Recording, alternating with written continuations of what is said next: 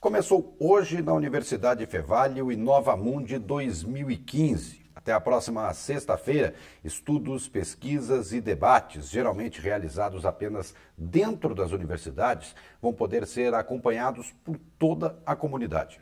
Estimular a pesquisa e a iniciação científica, a busca por melhorias nas tecnologias e as ideias inovadoras. E tudo isso através da pesquisa. Foram essas questões que fizeram Pedro voltar à universidade após concluir a graduação. Para a vida acadêmica, ela é importante porque ela te abre a, a mente, a cabeça, assim, para uma nova realidade. O Inova Mundi é composto por várias atividades e se divide em três grandes eventos: a Feira de Iniciação Científica, o Seminário de Pós-Graduação e a Feira de Iniciação à Pesquisa.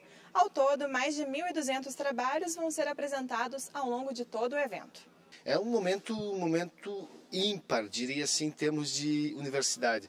É um momento que alunos, desde a iniciação à pesquisa, desde a, das séries iniciais que tem a escola de aplicação, há pouco estava lá, até a pós-graduação, conseguem disseminar aquilo que fizeram enquanto pesquisa. É o momento de democratizar o ensino, democratizar a pesquisa e, acima de tudo, né, transpor, sair das caixinhas que a gente diz, né? ou seja, é mover esse mundo que tanto necessita de conhecimento. Segundo João Alcione, um dos responsáveis pela realização de Nova Mundi, a produção de conhecimento e a pesquisa caminham lado a lado.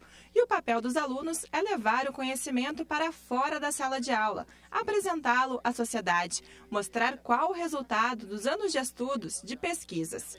Quem tiver curiosidade pode conferir nas apresentações tradicionais em salas ou auditórios.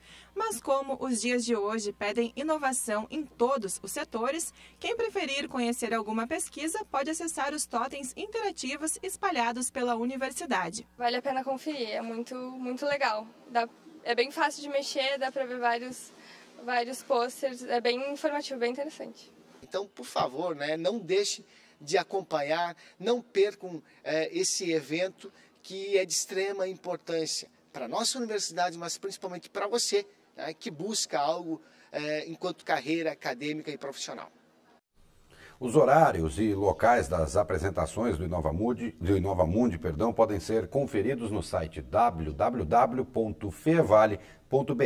barra Inova Mundi.